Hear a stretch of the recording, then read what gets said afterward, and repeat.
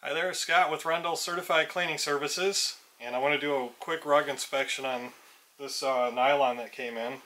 Just doing a quick visual on the top side. Remember we looked at the top, the sides, the back. There's no fringe on this one, so we won't check that. But I'm just kind of looking around to see if there's any any issues that jump out at me. When I talked to the client, she said that there's some dog issues. So we'll take a look at that too.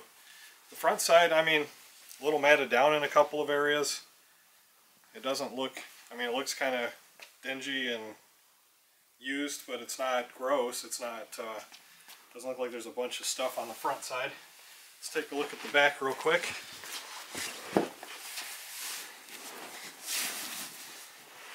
Alright.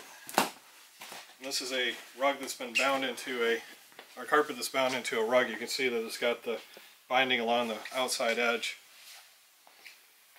And we see some odd, odd spots and stains over here. Okay, let's take a look at it under the black light.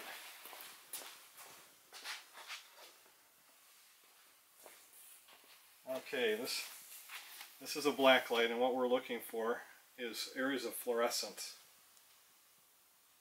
Now some of this is latex. Latex does fluoresce a light blue and white, uh, just generally. So some of this is going to be latex. I'm not really seeing anything that's jumping out at me at the moment.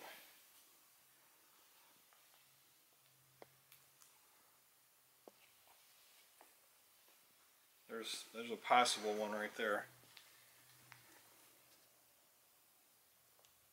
See how it's different, uh, it's fluorescing more white than our areas around it.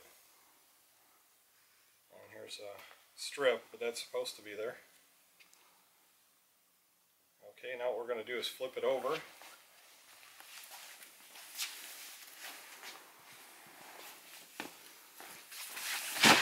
Take a look at the top side.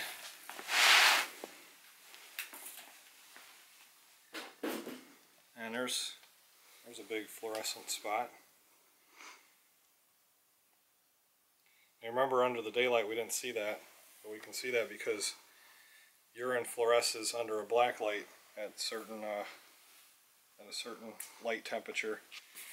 We're using a 365 nanometer black light, which is one of the proper light uh, colors, temperatures for urine and uh, bodily fluid detection. There's another one right here.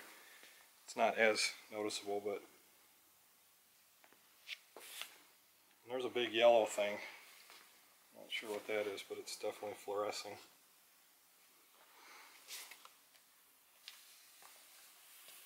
And what we do with this data is now that we know that there's, uh, there's another yellow spot, we know that there's the probability of urine contamination, we'll treat the entire rug with a urine treatment.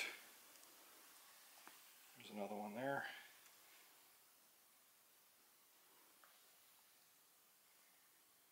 One right there. It's a big one right there.